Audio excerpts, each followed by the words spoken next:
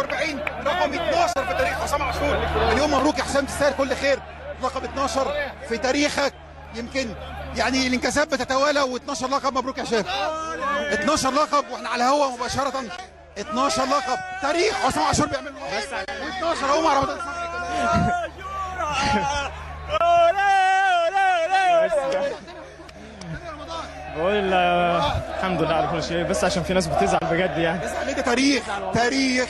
الحمد لله التاريخ للنادي الأهلي. والتاريخ آه، سطروا النادي الأهلي ولعيبه النادي الأهلي. سنة يعني طويلة قوي 12 شهر بنلعب دوري والناس شككت في في النادي الأهلي. شككت في إدارة النادي الأهلي شككت في جمهور النادي الأهلي شككت شككت في لعيبه النادي الأهلي شككت في كل من ينتمي للنادي الأهلي.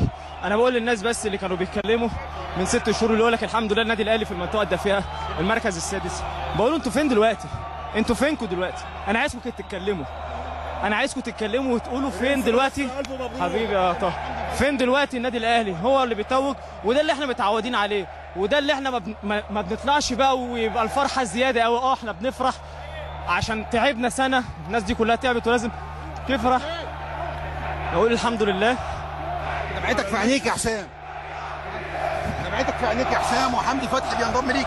يعني حسام النهارده بيكتب تاريخ جديد 12 دوري ودمعته يا عيني. يعني اتكلموا عليه كتير و...